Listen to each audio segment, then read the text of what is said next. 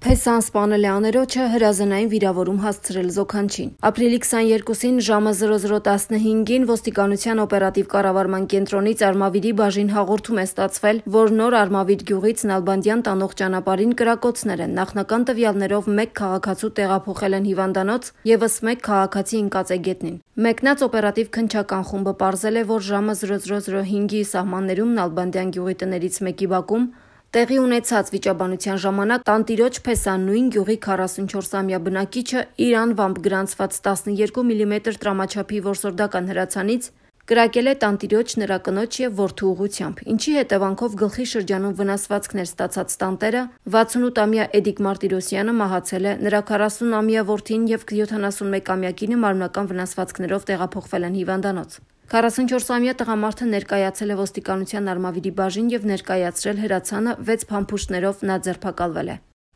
Գորիսի բաժնում ահազանգ է ստացվել, որ Գետապնյան փողոցի 13-րդ շենքի մոտ կրակում է։ Րոպեներ անց հիվանդանոցից հաղորդում ստացվեց, որ հրազենային վնասվածքներով բուժհաստատություն է տեղափոխվել 55-ամյա Գուրգեն Խաչատրյանը, տղամարդն արդեն մահացած էր։ Դեպքի վայր մեկնած օպերատիվ քնչական խմբերի ծառայողները ձեռնարկված օպերատիվ հետախուզական միջոցառումների եւ քնչական գործողությունների արդյունքում պարզեցին, որ ժամը 23:00-ի սահմաններում նշված շենքի մոտ տեղի ունեցած վիճաբանության ժամանակ Գորիսի բնակիչ 32-ամյա մի տղամարդ հրազենով կրակել էր Գուրգեն Խաչատրյանի ուղղությամբ։ Դեպքի վայրում հայտնաբերվեցին 9 մմ տրամաչափի փամփուշտի 3 պարկուճ,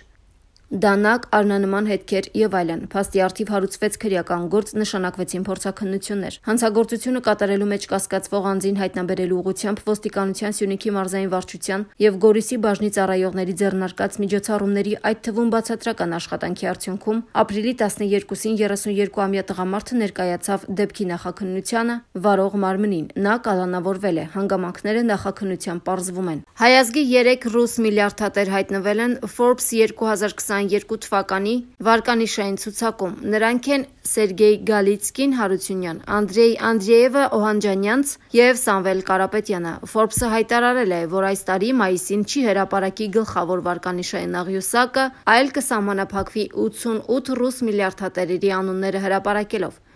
Նրանք ապրիլի սկզբին են ընդգրկվել ամերիկյան Forbes-ի համաշխարհային ցուցակում։ Մագնիտի հիմնադիր Սերգեյ Գալիցկին Հարությունյանը վարկանիշում զբաղեցրել է 32-րդ տեղը 3.2 միլիարդ դոլար կարողությամբ։ Մասնավոր ներդրող Անդրեյ Անդրեևը Օհանջանյանց վարկանիշում զբաղեցրել է 42-րդ տեղը 2 միլիարդ դոլար կարողությամբ։ Տաշիր ընկերությունների խմբի նախագահ Սամվել Կարապետյանը 82-րդ տեղում է 1.1 միլիարդ դոլար կարողությամբ։ Ամերիկա Միացյալ Նահանգների նախագահ Ջո Բայդենը 5 շաբթի օրը վերահաստատել է, որ ոչ մի ամերիկացի զինվորական չի ուղարկի Ուկրաինա երրորդ համաշխարհային պատերազմի վտանգից խուսափելու համար։ Փոխարենը ըստ ԱՄՆ նախագահի երկիրն իր ջանքերը կկենտրոնացնի Ուկրաինային ռազմական օգնություն ցուցաբերելու վրա։ Մենք յուրաքանչյուր ուկրաինացու կտանք այն ռազմական հնարավորությունները, որոնք անհրաժեշտ են նրանց պաշտպանելու համար, ասել է նախագահը։ Ավելի վաղ Բայդենը հայտարարել էր, որ Վաշինգտոնը Ուկրաինա է ուղարկում 800 միլիոն դոլար արժողությամբ ռազմական օգնության նոր փաթեթ,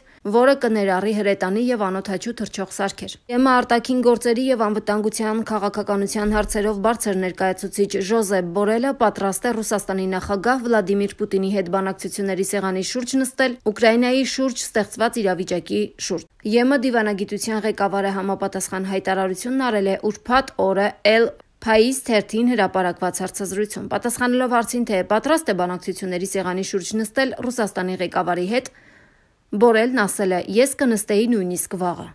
Թուրքիայում հայտնաբերվել է քրիստոնյաների հնագույն քաղաքը, որը գրավել էր Տիգրան Մեծը։ Թուրքիայի հարավ-արևելքում գտնվող քաղաքում փոքր քարանձավում սկսված պեղումները անսպասելի հայտնագործության են հանգեցրել։ Հնագիտական աշխատանքները սկսվել են երկու տարի առաջ Թուրքիայի Մարտին նահանգի Միդիատ քաղաքում պատմական փողոցների եւ շինությունների մաքրման եւ պահպանման ծրագրի շրջանակում։ Միդիաթը հնագույն քաղաք է, հայտնի է, որ այն գոյություն է ունեցել մեր թվարկությունից առաջ 9-րդ դարում։ Այնուհետև այն գրավել է Ասորեստանի թագավոր Աշուրնածիրապալ II-ը։ Երկար դարեր քաղաքը մնացել է ասորական բացառությամբ նվաճումների հազվադեպ շրջանների։ Այսպիսով մեր թվարկությունից առաջ առաջին դարում շրջակա հողերը գրավել է Տիգրան II-ը եւ դրանք դարձել են մեծ հայքի մի մաս։ Ավելի ուշ Տրայանոս կայսեր օրոք դրանք համարվել են Ասորեստանի հռոմեական նահանգը։ Պատմական աղբյուրներում ասվում է, որ Միդիաթն իր անունը ստացել է ասորերեն բառից, որը թարգմանաբար կոչվում է քարանձավների քաղաք։ Այն հանդիպում է նաև ՄԹԱ 9-րդ դարի արձանագրություններում։ Գիտնականները կարծում են, որ քաղաքի տակ գտնվող քարանձավները միշտ եղել են, բայց դրանք բնակեցվել են մոտ 1900 տարի առաջ առաջին քրիստոնյաների հռոմեական հալածանքների ժամանակ։ Ստորգետնյա քաղաքում պեղումների ընթացքում հայտնաբերվել են խորաններ, հստակ պաշտամունքային բնույթի առանձին սենյակներ, սննդի պահեստներ, ջրի հորեր եւ միջանցքներ։ Մոսկվայի կենտրոնում կտեղադրվի ռուս երգիչ Յոսիֆ Կոբզոնի հուշարձանը։ Համապատասխան հանձնարարությունը տվել է Ռուսաստանի մայրաքաղաքի քաղաքագետ Սերգեյ Սոբյանինը, գրում է ՌԻԱ Նովեստին վկայակոչելով քաղաքապետարանի մամուլի ծառայությունը։ Մոսկվայի ղեկավարությունը 45 միլիոն ռուբլու չափով դրամաշնորհ կհատկացնի ԽՍՀՄ ժողովրդական արտիստ Իոսիֆ Կոբզոնին նվիրված հուշարձանի պատրաստման եւ տեղադրման, պես նաեւ հարակից տարածքի բարեկարգման համար հայտնել է մամուլի ծառայությունը։ Հուշարձանը Մոսկվայում Կոբզոնին նվիրված երրորդ խորհրդանիշը կդառնա։ Երաժշտության ռուսական ակադեմիայի շենքին արդեն իսկ հուշատախտակ է տեղադրված, շրջաններից մեկում միջափողոցը ստացել է նրա անունը։ Դմիտրի Պեսկովը հայտարարել է. «Սպասում ենք Կիևի պատասխանին խաղաղություն հաստատելու վերաբերյալ մեր գրավոր առաջարկին»։ Մոսկվան տակավին սպասում է ուկրաինացիների պատասխանին խաղաղություն հաստատելու վերաբերյալ Ռուսաստանի ներկայացրած գրավոր առաջարկին։ Այդ հայտարարությամբ Կրեմլի խոսնակ Դմիտրի Պեսկովն արձագանքել է Ուկրաինայի նախագահ Վլադիմիր Զելենսկուն, ով երեկ ասել է, թե տեղեկություն չունի ռուսական կողմի առաջարկի մասին։ Բանագնացների կազմը նույնն է, փորձագետները մշակում են նախագիծը։ Կրկնում եմ, ինչպես երեկ էի ասել, մեր պահանջները դրանց վերջին տարբերակը փոխանցվել են մյուս կողմին, ուստի մենք պատասխանի ենք սպասում։ Թեպետ մենք լսել ենք, որ նախագահ Զելենսկին ասել է, թե ոչ մի տեքստ չի տեսել, եւ դա էլ է հարցեր հարուցում, քանի որ ոչ ոք Զելենսկուն չի զեկուցում մեր առաջարկների մասին։ Ասել է Ռուսաստանի նախագահ Վլադիմիր Պուտինի խոսնակը։ Ապրիլի 12-ին Պուտինն ասել է, թե բանակցությունները մտել են փակուղի։ Կիևը մերժում է Ռուսաստանի կազմում Ղրիմի ընդգրկման հետ մերվելու եւ Դոնբասի երկու անջատողական կազմավորումների անկախությունը ճանաչելու Մոսկվայի պահանջը։ Ավստրիայի կանցլերը հայտարարել է, որ լավատես չէ Ուկրաինայում ռազմական գործողությունների մոտ ժամանակներս դադարեցման հարցում։ Այդ գնահատականով Կարլ Նեհամերը հանդես է եկել Ռուսաստանի նախագահ Վլադիմիր Պուտինի հետ երեք անցկացրած բանակցություններից հետո։ Կանցլերը դարձավ Եվրամիության անդամ երկրի առաջին ղեկավարը, ով հանդիպել է Ռուսաստանի ղեկավարի հետ Ուկրաինայում պատերազմի սկսվելուց ի վեր։ Ընդհանուր առմամբ նախագահ Պուտինի հետ այս զրույցից ես լավատեսակ տպավորություն չունեմ, որը կարողանայի ձեզ հետ կիսել, ասել է Նեհամերը